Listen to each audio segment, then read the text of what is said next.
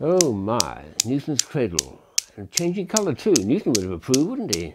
Blues and reds, he was, well, he loved colour, didn't he?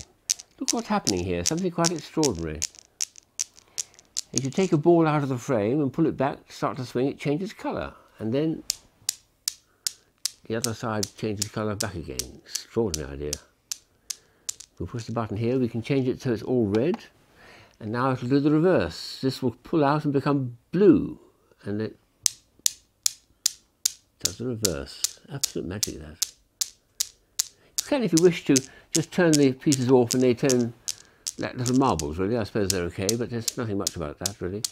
But there's one more colour sequence which is nice when we turn it back on again. It flashes and then it becomes red and blue together. And this will again produces a very nice effect. Red becoming multicoloured.